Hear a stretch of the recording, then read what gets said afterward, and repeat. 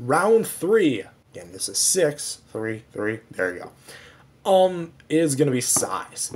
Size is a bit of a weird thing to tackle because I really went analytically with the, with the size.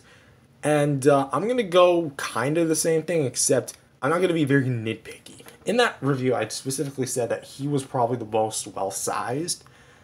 But fundamentally, all but the NECA, we'll get to the NECA, are all the same height six inches. Now, I know he's a bit smaller than the rest. I mean, if you look at him versus him, again, it's an apparent difference that he is, in fact, the bigger one compared to him. And these two are about, mm, I'm looking at it now, similar in height. Kind of looks like he's bigger, but not really by much if he is. But it's so similar. Really, you can't decipher an actual winner unless there was like an inch or so in difference in size. The NECA is a very special case because even though six inch figures are kind of the, the standard norm nowadays, the NECA is 8 inches, which a lot of people were kind of concerned as to why they would make it 8 inches, despite the fact that their previously made Godzilla figure line was a 6 inch to 7 inch figure line. Why would they make an 8 inch Kong in by from the same company, the same manufacturers as the 6 to 7 inch Godzilla line? Well, simple. Kong was in his own line entirely.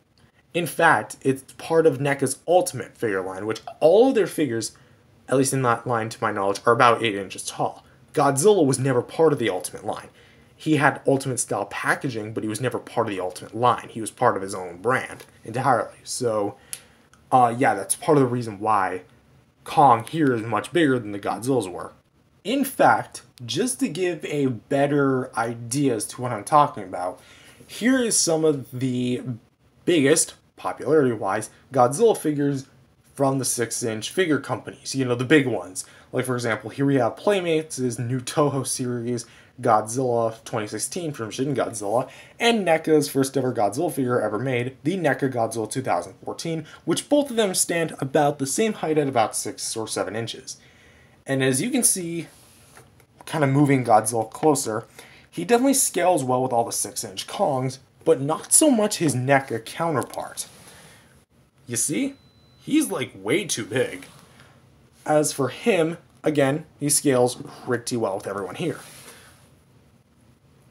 Because Godzilla is naturally supposed to be the taller one of the two, this all makes sense.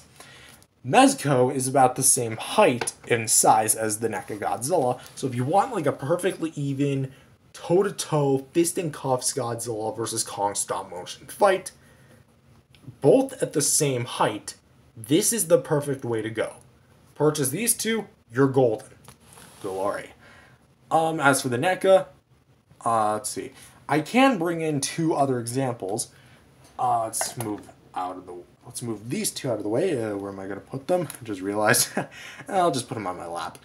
Uh, here we have the Bandai Godzilla 2000 uh, from Bandai America or Bandai Creations, and the SH Monster Arts Godzilla 2001, which as you can see, both of them, again, they're rather much larger 6-inch figures, but the Monster Arts is, I think, one of the more taller Monster Arts Godzilla figures, if I'm not mistaken, right behind Shin Godzilla, Filius, and Ultima. But surprisingly, he is almost there. He is really almost there. Um, but compared to things like Mezco, again, he fits well. Playmates, the gods, the Playmates Kongs, he fits well with.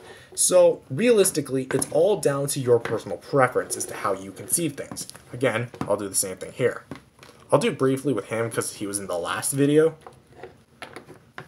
So here we have him up here. I swear, if this makes this part the thumbnail, I'm gonna laugh. Because he was in the thumbnails well, so.